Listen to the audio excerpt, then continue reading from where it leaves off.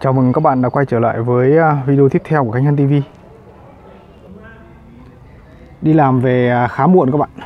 Muộn mà nói chung là cũng hơi à, mỏi mỏi trong người một chút thì mình sẽ ra vườn à, chăm sóc dâu một chút các bạn. À, Mùa này thì à, trái ít các bạn nhé Trái ít và dâu nó không có đẹp như cái mùa chính vụ.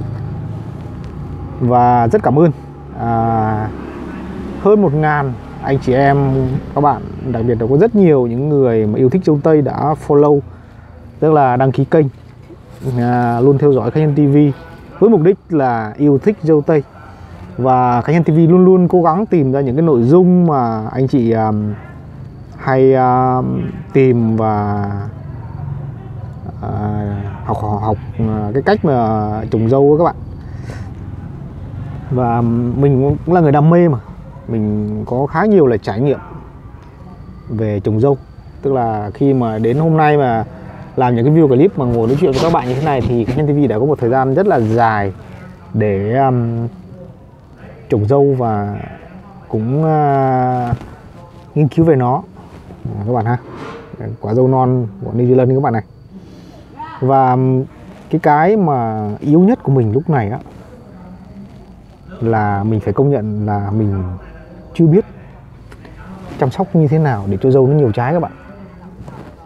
Và một, có một sự thật mà phải chấp nhận các bạn. Đó là cái việc mà trồng dâu như các bạn thấy ở trên tivi đúng không?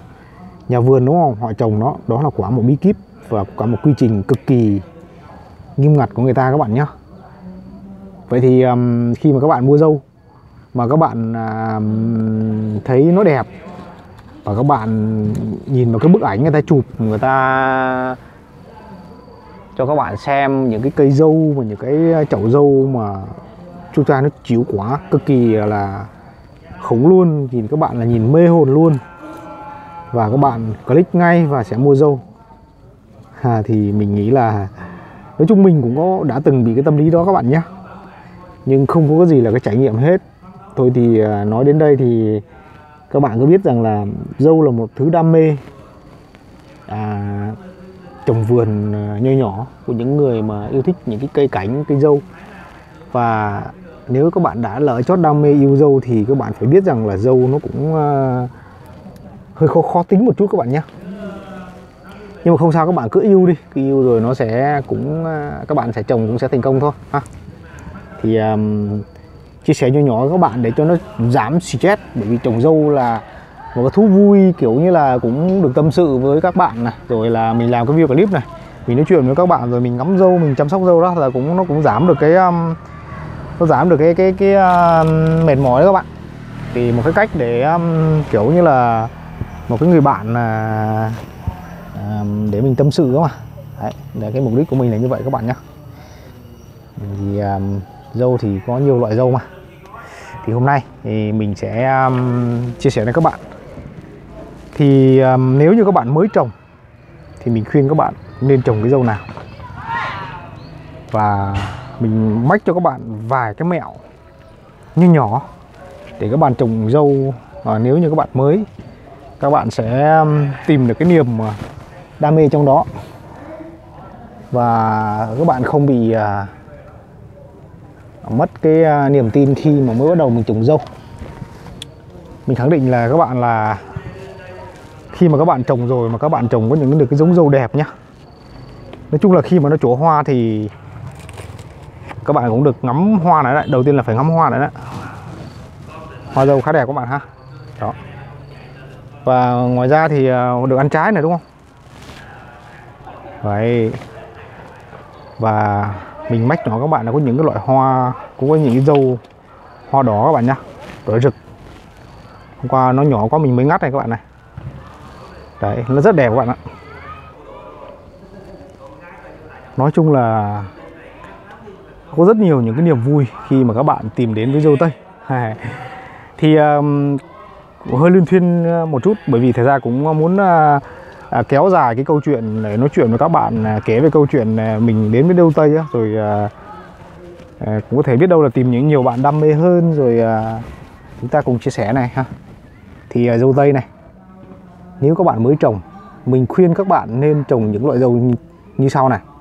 Một các bạn nên trồng dâu mỹ đá và hai là dâu New Zealand. Đây các bạn thấy chưa? New Zealand này. Mỹ đá thì mình không mình không còn trồng nữa vì à, trước đây thì mình tìm một cái cây ngó mà cũng không biết là nó từ đời bao nhiêu nhưng mà khi trồng lên đó thì à, mình cứ lấy cái ngó của cây ngó cây ngó mình trồng rồi sau đó thì mình thấy là dâu bị đá thì nó cũng hơi chua chua các bạn. Rồi sau đó thì mình à, không trồng bị đá nữa. Mình trồng sang một số loại dâu khác. Đơn giản là vì là nó là giống dâu mới và um, mình bảo là mình sẽ tìm được một cái gì ở cái cái trong cái cái những cái, cái, cái giống dâu khác. Nó kiểu là nó sai quả hơn đó các bạn. Thì um, nếu như các bạn lần đầu tiên trồng dâu thì mình khuyên các bạn nên tìm giống dâu New Zealand trồng. Bởi vì qua quá trình trồng mình thấy dâu New Zealand nó khá khỏe các bạn cực khỏe luôn. Nhưng mà một cái yếu điểm là khi mà các bạn mua dâu uh, dâu dâu dâu cây ngó về các bạn cái ngó đầu tiên mà mình trồng là khi mà cái ngó rất bé bé của một kênh à, một kênh youtube khá lớn ở trên mạng kênh uh, dâu tây sạch anh Hoàng đó các bạn thì um, uh, mình trồng tới 3 tháng rưỡi sau nó bắt đầu nó trổ hoa. Và như bây giờ các bạn thấy không? Cái mùa này nó vẫn ra trái. Những cái cây dâu mà mùa này nó vẫn ra trái có nghĩa là cho thấy là cái cái cái dâu là nó vẫn phát triển khá là đều đều. Đấy, các bạn thấy không? Quả này, hoa này. Và một cái nữa là các bạn biết không? Dâu tây New Zealand nó cực kỳ khỏe. Mình không muốn nói là mình cấy mô thành công nhưng mà khi các bạn lấy những cái ngó mà được của New Zealand thì các bạn trồng nó rất là khỏe luôn các bạn nhé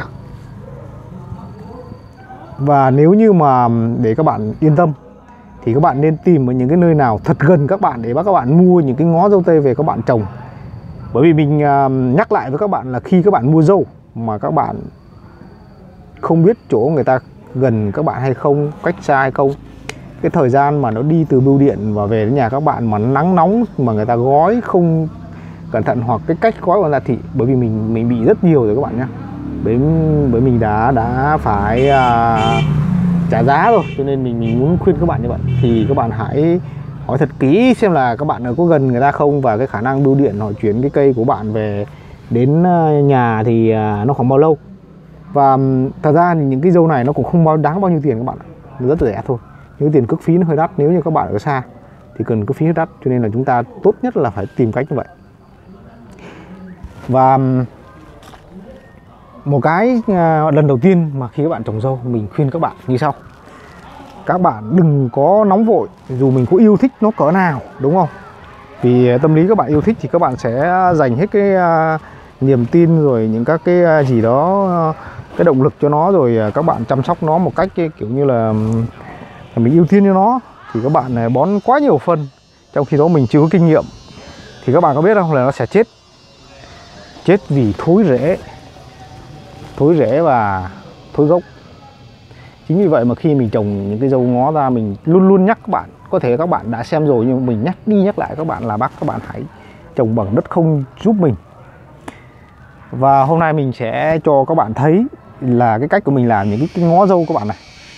Có nghĩa là mình dùng một cái từ nó hơi phủ phàng một chút bởi vì khi các bạn yêu ta yêu dâu rồi ạ thì các bạn quá chăm sóc nhưng các bạn thấy không? Mình vứt bỏ rải của nó đây. Mục đích không phải là mình bỏ để kiểu mình mình mình à, mình bỏ nó đi các bạn nhé mà các bạn cũng phải biết được là mình để như vậy á là mình luyện cây luôn. Mình luyện cây luôn các bạn. Nó qua nắng qua mưa nó qua nắng qua mưa. Nó tự bén cái rễ xuống và có, có thể là nó kháng được cả bệnh luôn các bạn. Kháng cả bệnh luôn nhé các bạn thấy những cái dâu Hà Lan hoa hồng của mình đó. Và đây nữa các bạn thấy chưa? Mặc dù mình để ngoài đất và những cái cây dâu mà mình để nó bị héo rồi mình cắt hết lá bây giờ là nó cứ trồi trồi những cái lá non lên. Có nghĩa là cây dâu nó đã đang, đã có những cái rễ nó đang bén xuống. Không phải là mình à, mình bỏ rải để mình kiểu như mình ấy các bạn nha. Các bạn thấy không? Mình cứ à, những cái ngó ngó mình cứ vùi vùi trong đất để ở góc vườn. Nó nắng nó mưa xong bắt đầu là nó cùn lá rồi nó héo hết lá này đây các bạn có thể thấy được này nó héo hết lá này đây này. Các bạn thấy chưa? Bạn thấy nó lá sầu sầu khô khô chưa? Đó. Rồi xong đó là nó sẽ à, nó sẽ sẽ lên trở lại. Thì cái đó là đến mùa mà bắt đầu mùa mùa dâu, khoảng độ tháng 10 đó các bạn. Khi mùa chuẩn bị đến mùa mùa khô một cái mùa người ta trồng rau á để chúng ta bắt đầu xới đất để chúng ta chăm bón chăm bón lại. Bởi khi đó bộ rễ nó đã phát triển rồi các bạn nhá. Đó là cái cách mình khuyên các bạn nhá. Mình nhắc đi nhắc lại các bạn đó các bạn chứ các bạn đừng có quá chăm chút các bạn mua cái đất nọ, đất kia về các bạn trồng ngay rồi xong là các bạn chưa hiểu gì à, chưa chưa um, chưa, chưa chưa trồng chưa quen á, là cái đất nó có thể sót nó gây cho cái dâu nó chết ngay. Đó mà là cái thời gian mà cái dâu của các bạn mua về mà nó được gửi qua bưu điện 2, 3, 4 ngày thì nó lại càng yếu dâu các bạn lại càng bị mắc sai lầm cho cái cái điều đó đó. Thì các bạn nên lưu ý nha. Vâng hôm nay thì mình hơi nói hơi dài một chút nhưng mà không sao. Mình muốn à, tâm sự cùng các bạn luôn. À, cái lý do mà mình muốn khuyên các bạn trồng dâu um, New Zealand. Đây các bạn thấy không? Những cái New Zealand mình à, bỏ những cái chậu ở ngoài này. Mình để ngoài trời nắng trời mưa và các bạn thấy không? Có nó mọc đầy nhưng mà New Zealand nó rất là tốt. Các bạn thấy không? Nó rất là khỏe luôn. Đó các bạn thấy không? Mặc dù những cái cây mà mình để mình à, ở trong chậu mà mình để bên trong mình che mưa thì nó vẫn có hoa nhưng những cái cây này nó không có hoa đúng không các bạn nào? Nhưng mà các bạn phải biết rằng là những cây dâu như này là, là nó rất nó đã qua nắng qua mưa nó rất là khỏe. Và các bạn biết không? Đến mùa đầu mùa dâu á, mình sẽ chăm sóc lại mình sẽ nhổ cỏ mình sới mình sới mình bón phân rồi mình tưới thêm cái phân à, à, những cái phân vô cơ phân là bk loãng. Mình chả kích ừ, cho nó tức là kích bằng phân thôi các bạn nhá chứ không phải kích bằng bằng chất kích thích. Thì để cho nó trổ hoa thì những cái dâu là rất là khỏe. Chính vì vậy mình nên khuyên các bạn mới trồng dâu tập. Các bạn nên tập trồng dâu bằng những cái ngó New Zealand. Các bạn nhá New Zealand New Zealand. New Zealand rất là khỏe các bạn. Đấy nó khỏe và cái khả năng sinh trưởng của nó rất là ok luôn. Chính vì vậy mình khuyên các bạn như vậy đó. Và các bạn có thể um, thấy được là New Zealand thì đó các bạn thấy không? Mình thấy nó bò bò ra đất nhưng mà là dễ nó khiếp luôn ha. Nó rất là nhanh nhìn nó rất là khỏe. Đấy. Còn mùa này thì nó vẫn ra ra ra trái. Đấy chính vì vậy mình khuyên các bạn. Và um, hiện tại thì mình à, có một số những cây dâu Hà Lan. À dâu um, Nhật Hana các bạn. Nhưng mà có vẻ như Hana thì nó cần phải có điều kiện thời tiết rất là tốt cho trái. Và cái cái mà mình khuyên các bạn trồng dâu New Zealand nữa là thế này, là nó ra họ ra hoa ra quả đồng loạt. Bởi khi các bạn trồng lên những cây dâu á, ví dụ như năm bảy cây nhưng mà nó ra quả hết, ra hoa ra quả hết thì các bạn mới có động lực. Các bạn thấy không? Đây này. Đó, cây, các cái cây của mình đều có hoa, có trái hết. Các bạn nào khi các bạn trồng lên mà các bạn thấy có hoa, có trái là các bạn có rất có động lực và các bạn sẽ tìm cách, các bạn nhân giống, rồi các bạn sẽ tìm thêm các loại dâu khác các bạn trồng. Chứ còn khi các bạn trồng về nó cứ cố gắng cho nó sống được cây, rồi sau đó có sống được cây nó sống mà các bạn lại chờ mãi không thấy hoa cái quả là nó không có động lực luôn. Cho nên là các bạn hãy tìm những dâu rễ như mỹ đá, rồi New Zealand, các bạn trồng trải nghiệm trước này nhá. Và sau đó các bạn hãy tìm những cái dâu khác. Còn bây giờ thì mình mình trồng được nhiều cái, một số giống dâu. Thì mình có tìm thêm những cái dâu Hà Lan, hoa hồng. Mình chơi hoa các bạn, hoa hồng rồi à, à, một số cây um, cây hàn hoa đỏ có bạn tặng mình luôn. Và um, à, hàn hoa đỏ. Và có bạn thì lại nói là không phải hàn hoa đỏ mà là nhật đỏ. Thì mình cũng không biết là hàn hay nhật nhưng thôi thì cứ biết là nó hoa đỏ. Và nếu như có thể thì các bạn có thể trồng những cây dâu nhật lùn các bạn ạ. Nhật lùn nó cũng khá là khỏe. Và mùa này thì nó cũng đang ra hoa. Đây các bạn thấy không đó. Thì um, mình muốn chia sẻ cái video này của các bạn à, đến các bạn hơi dài dài một chút. Nếu như các bạn đam mê và yêu thích dâu á thì các bạn sẽ luôn là nghe những cái à, lời mình tâm sự mình chia sẻ. Thì biết đâu được thì nó sẽ đúng ý được các bạn. Thì các bạn sẽ à, sẽ sẽ cùng mình là sẽ tìm rồi những cái hay hay để mình trồng dâu các bạn ha.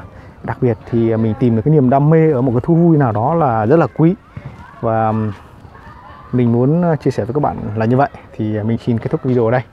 Và một lần nữa thì mình khuyên các bạn nhé các bạn hãy tìm những cái giống dâu mà nó nhanh có hoa có trái. Nhanh thì các bạn dễ có động lực hơn để mình nghiên cứu mình tìm hiểu học hỏi những cái trồng những cái giống dâu khó tính khác.